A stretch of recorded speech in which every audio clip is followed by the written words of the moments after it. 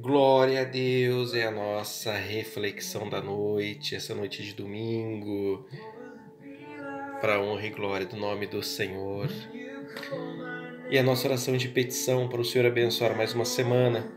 E vamos ler os versos 1 ao 4 do Salmo 61 antes de orarmos. Ouve, ó Deus, a minha súplica, atende a minha oração. Desde os confins da terra clamo por ti no abatimento do meu coração. Leva-me para a rocha que é mais que é alta demais para mim.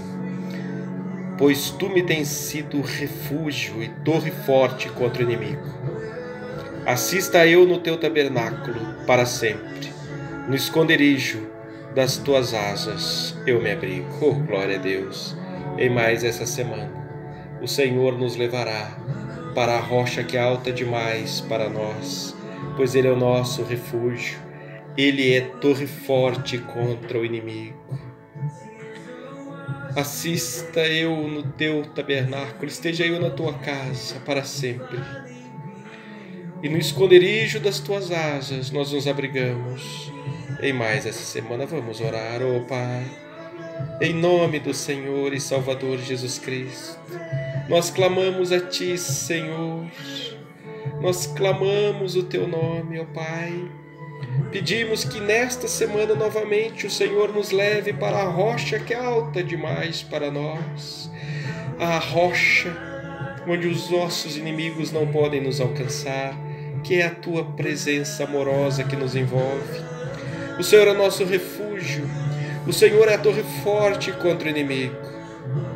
Senhor, que para sempre estejamos em tua presença, te adorando no esconderijo das tuas asas. Nós estamos seguros. Obrigado, Senhor.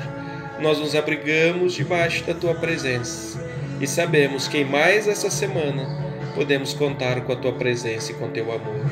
Em nome de Jesus, lavado e remido no sangue de Jesus, eu orei com todos que oraram comigo. Amém? Glória a Deus. Em mais essa semana o Senhor nos guarda, nos protege e nos livra de todo mal.